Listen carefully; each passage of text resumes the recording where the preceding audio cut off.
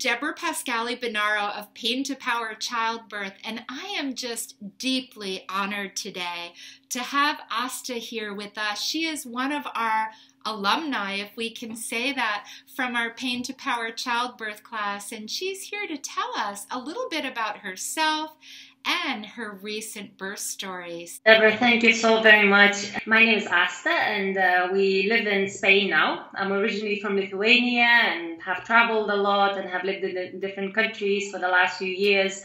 From the very beginning, we knew um, that home birth was what we wanted, and you know, it's um, pregnancy from very early, uh, few weeks into pregnancy, we we made a decision, and it really felt like sort of a decision internally that pregnancy is not a disease. It's, I kept thinking that the baby would come early because I had so much work, and I, I I thought, you know, I won't even be able to finish my work in time.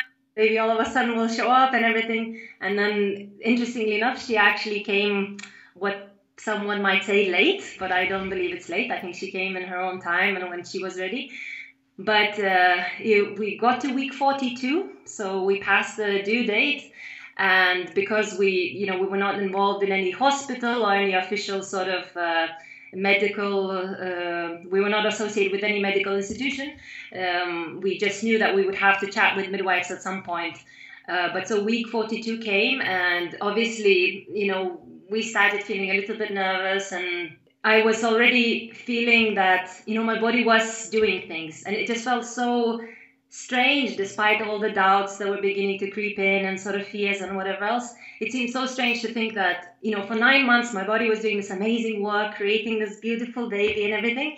And that somehow in the last moment, the last few weeks or days left, it would just forget what it needs to do and, you know, just stop. And it just seemed so like it's, it's not possible. I was already having quite a lot of um, what I ended up calling waves. I, I, chose, this is one of the other things, I chose to call them waves. Lots of uh, sort of in preparation. I felt like my body was getting there, but it would be maybe once every hour, you know, at that sort of rate mm-hmm. for a few days already. And we started uh, going for walks. We started doing all the things that you know naturally, supposedly should should be helpful in in uh, sort of speeding things along a little bit. So we had this appointment with the midwives, and I, I remember I really, really didn't want to go because part of me was a bit fearful that they might say, okay, we need to do something, you only have so much time. And I just really, really did not like this this pressure, but you know, we, we decided we will go and see them.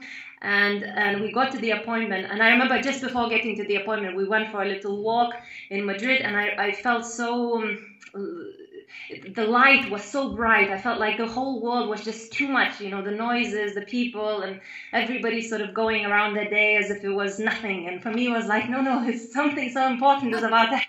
So just the whole world felt like too much, you know, too too noisy, too loud, and too too bright. So yeah, we got to the appointment, and she she was telling us um, was asking how we were doing and everything, and and asked, you know, well, so we need to get to this question, the big elephant in the room. What happens if things don't happen in the next few days? And I just said it. I was like, we're waiting. Like, there's no way, you know, for now, there's no risks. I feel great. There's nothing.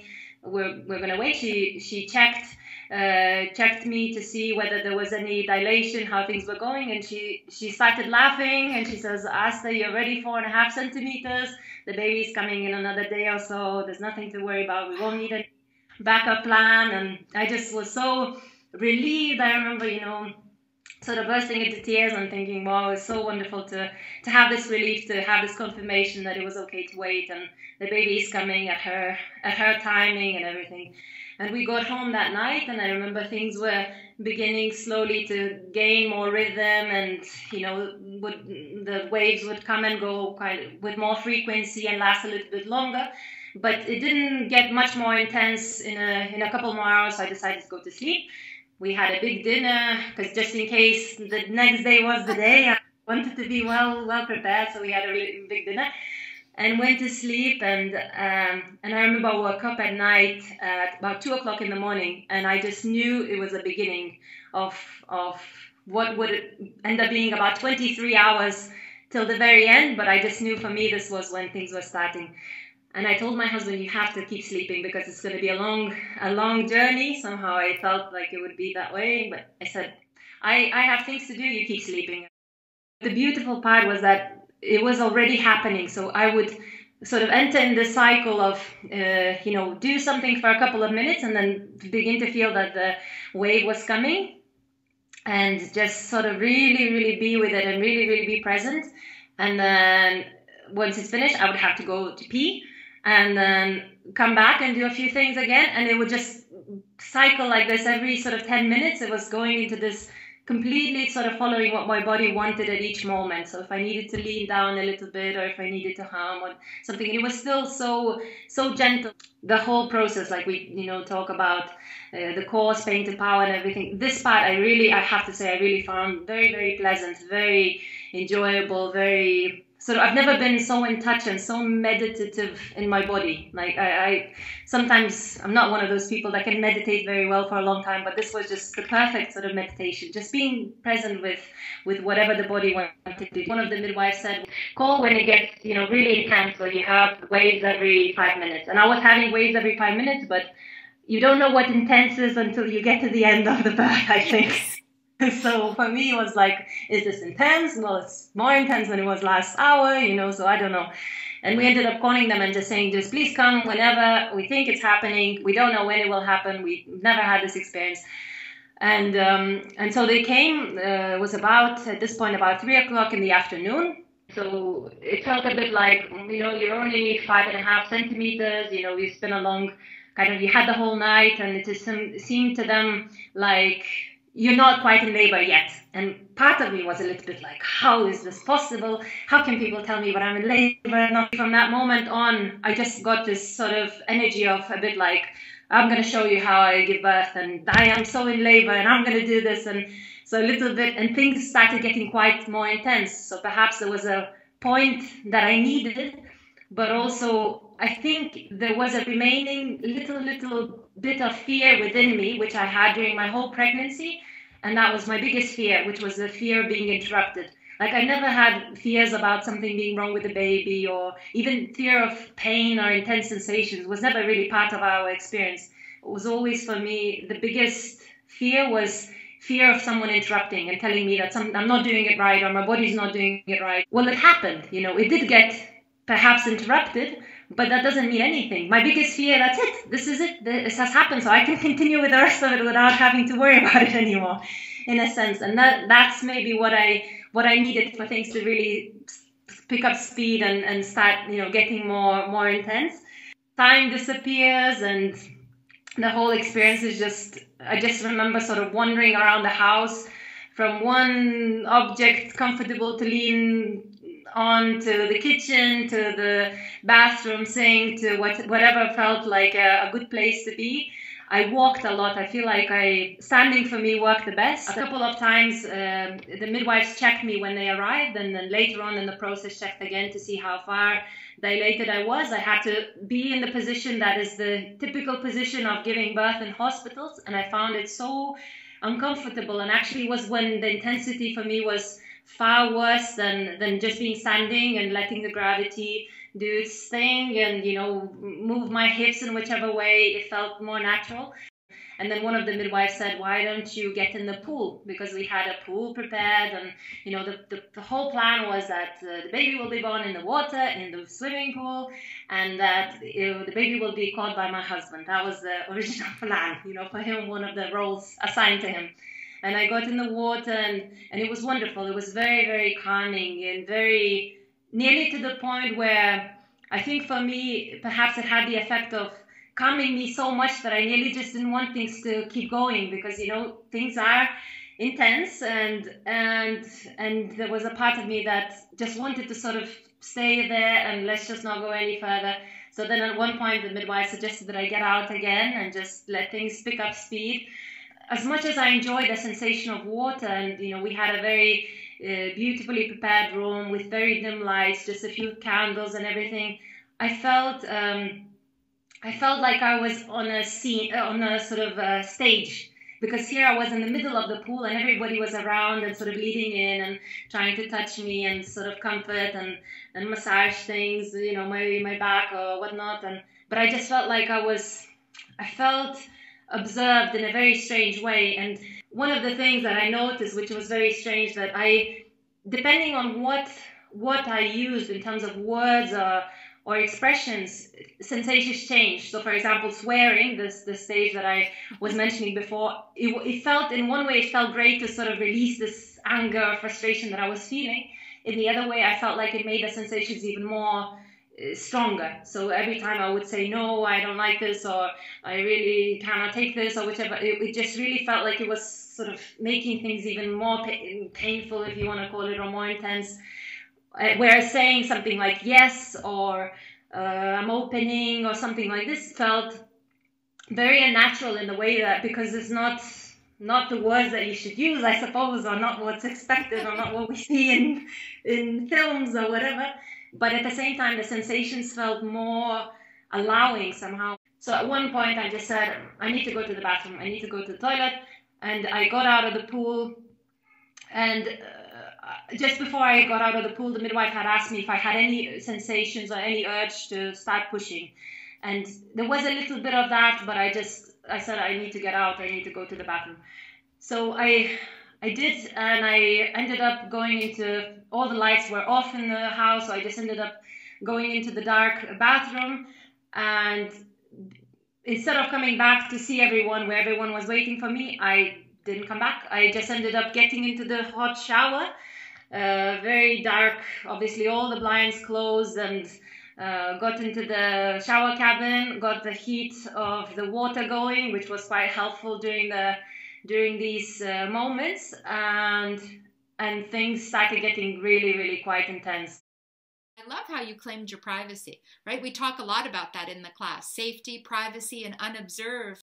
One of the moments as well, which was interesting, was that up until that point, the water hadn't broken. I was by myself in the shower, in this hot, uh, dark shower, and I reached down, and it just felt like it was the right thing to do, and I just pressed, and the water gushed out, and it felt like the, the head dropped, and everything sort of like this was now we're now we're ready because I felt like the the water was somehow cushioning the baby, and it was still sort of taking time to get to that point a surprise. I think is just the best word to describe it. That it, it's possible to sense so much power, so much eh, intensity in the body, and the body doing itself. I, I never felt at any point like I had to actually push anything or to.